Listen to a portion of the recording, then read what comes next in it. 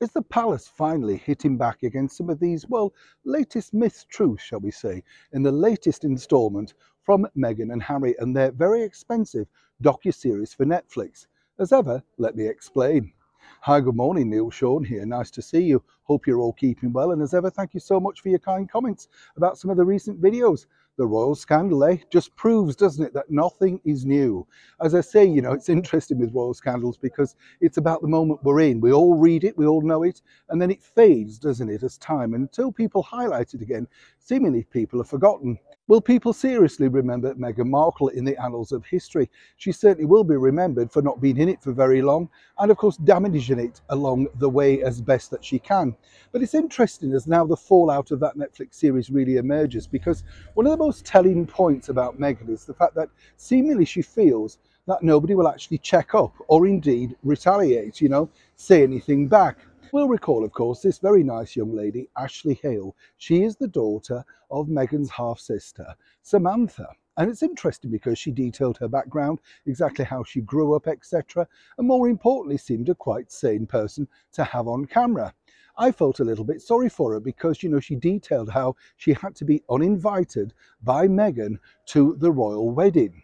Now, it's interesting here, isn't it? Because obviously she's a girl that's not necessarily used to the world's media and really would have accepted, seemingly, the very kind offer and then the withdrawal from the former royal. But as ever, if you dig a little bit deeper, perhaps Ashleigh could have found this out.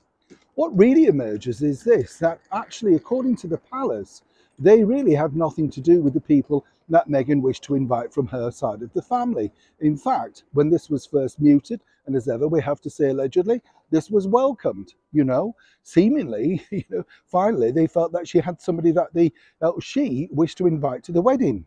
Now we can only surmise that there's a reason behind this. Perhaps Doria doesn't get on that well with Ashleigh. Who knows? You know, we're not quite sure. As ever, everything is uh, cloak and dagger with Meghan.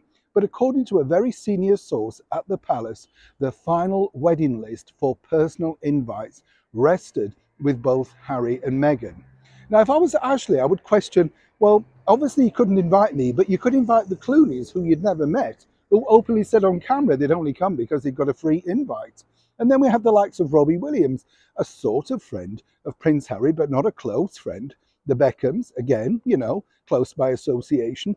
So one would suggest if I was Ashleigh, exactly, why were you disinvited? Because certainly, according to the palace, it was nothing to do with them. Well, it would be interesting to know, wouldn't it, whether Ashleigh will ever be given the right to respond. And more importantly, was Ashleigh paid to be on camera alongside her mother, Doria? Because now it appears that Doria, seemingly according to sources, already had a royal allowance. We're not quite sure where that came from, but as ever, smothered in cloak and daggers once again with Harry and Meghan, they're continually wanting to make sure that their version comes out, but in their own stupid vanity, it always gets exposed, but not necessarily in the way that they wish.